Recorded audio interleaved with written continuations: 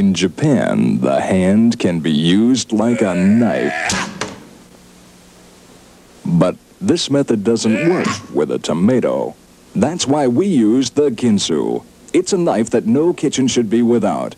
The Ginsu can cut a slice of bread so thin you can almost see through it.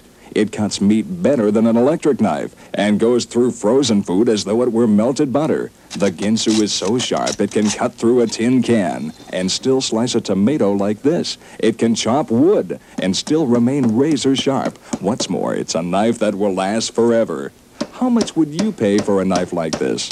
Before you answer, listen. It even comes with a matching fork to make carving a pleasure.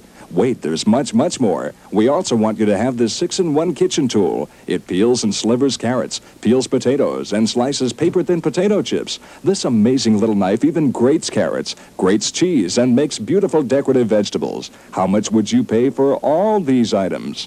Well, we'll even give you this set of six precision steak knives. The handles even match the Ginsu. And to make the offer completely irresistible, you'll get this unique spiral slicer. Down and down, around and around, and you'll have a beautiful garnish for your dinner table.